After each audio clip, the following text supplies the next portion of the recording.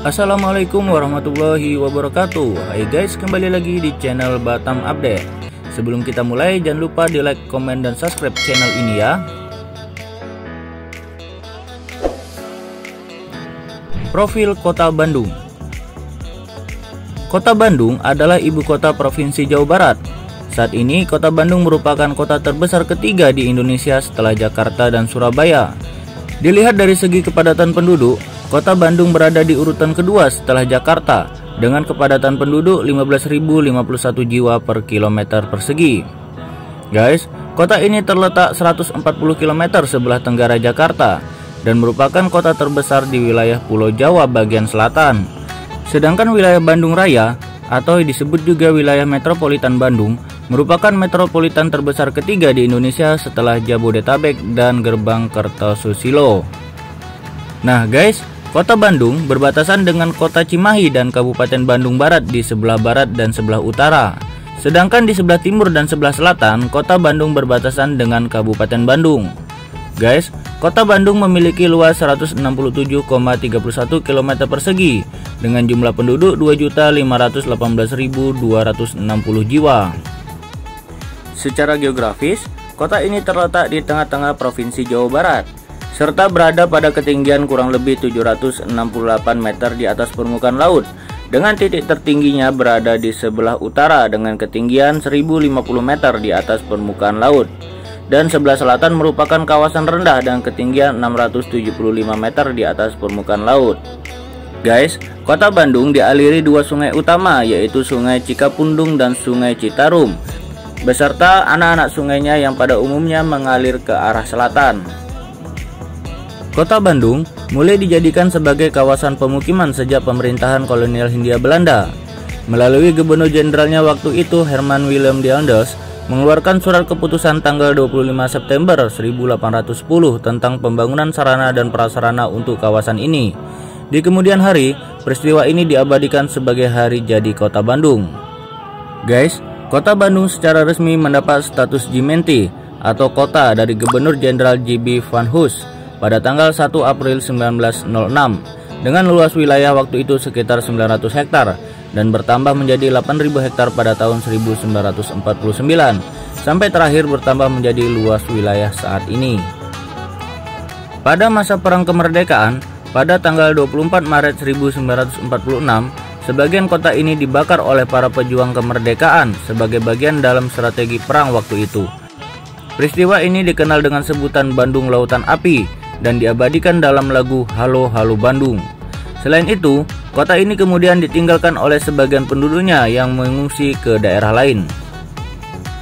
Pada tanggal 18 April 1955 di Gedung Merdeka yang dahulu bernama Concordia, sekarang Jalan Asia Afrika, berseberangan dengan Hotel Savoy Homan, diadakan untuk pertama kalinya konferensi Asia Afrika. Guys, kota Bandung merupakan kota terpadat di Jawa Barat di mana penduduknya didominasi oleh suku Sunda. Sedangkan suku Jawa merupakan penduduk minoritas terbesar di kota ini dibandingkan suku lainnya. Selain itu, terdapat juga suku minoritas lainnya seperti Batak, Minang, dan Betawi.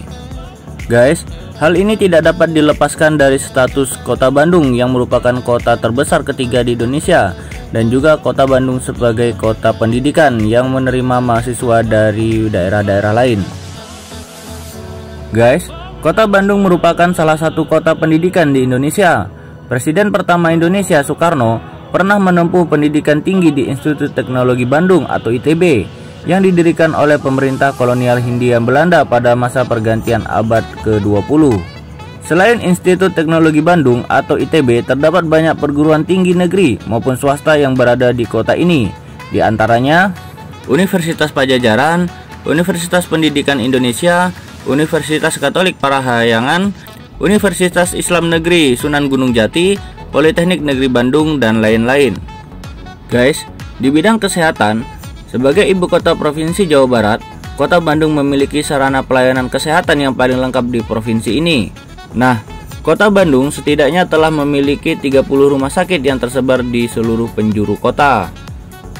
Guys, untuk transportasi udara, Kota Bandung memiliki sebuah bandar udara yang bernama Bandara Hussein Sastra Negara untuk menghubungkan kota-kota ini dengan beberapa kota lainnya di Indonesia seperti Surabaya, Denpasar, Manado, Yogyakarta, Batam, Mataram, Makassar, Bandar Lampung, Palembang, Pangkal Pinang, Medan, dan kota-kota lainnya.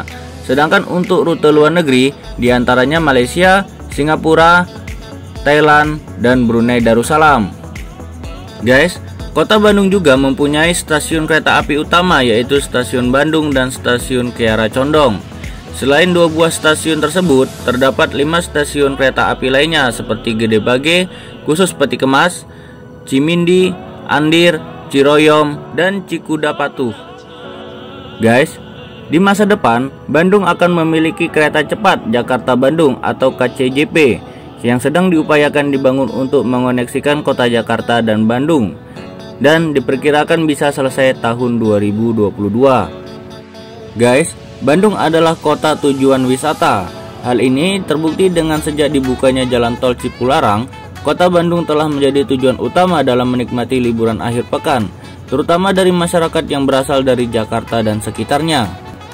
Di antara tempat-tempat menarik yang ada di kota Bandung, di antaranya alun-alun kota Bandung, gedung sate, gedung geologi, Kebun Binatang Bandung, Jalan Braga, Trans Studio Bandung, Museum Kota Bandung, dan lain-lain.